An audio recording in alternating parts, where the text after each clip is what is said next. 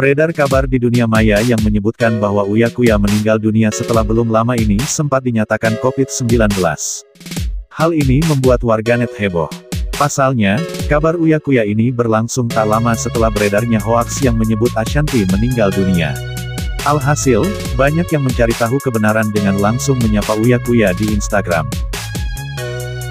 Dari situlah diketahui bahwa kabar Uya Kuya meninggal ini datangnya pertama kali dari aplikasi TikTok.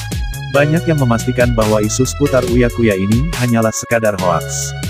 Mengintip unggahan potret terbaru Uya Kuya, belum lama ini, terlihat bahwa sejumlah warganet mengaku terkecoh dari unggahan hoaks di TikTok.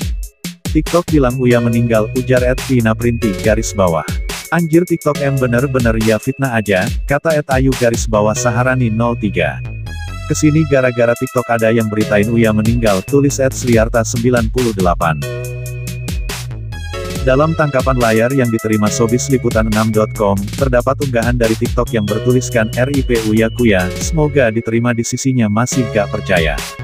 Bersama tulisan tersebut, digunakan foto Uya Kuya yang berasal dari unggahan sang artis belum lama ini saat berada di rumah sakit.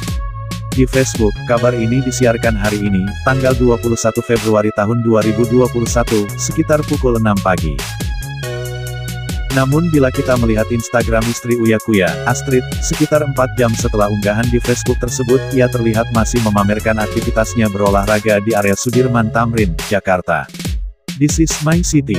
Jakarta, head and love with this city, Jakartaku yang macet, Jakartaku yang sibuk, Jakartaku yang penuh harapan manusia-manusia yang ingin sukses, terkenal degen monasnya, walaupun sebagai warga JKT terakhir ke sana kelas 4 SD Welcome to Jakarta, Indonesia, tulis Astrid. Di Instagram, Ana Sulung Uya, Cintaku Ya juga menyinggung soal hoaks. Unggahan ini seolah menyangga isu yang tengah beredar. Arti hoaks adalah kabar, informasi, berita palsu atau bohong, tulisnya di Instagram Stories, Minggu, tanggal 21 Februari tahun 2021.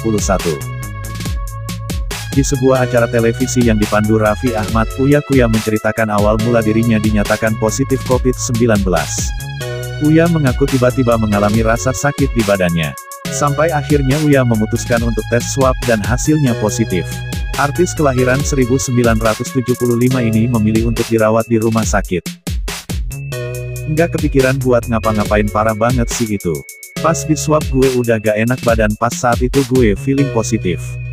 Pas parah sakit gak kepikiran mau ngasih tahu orang mikirin kerjaan, terang Uya.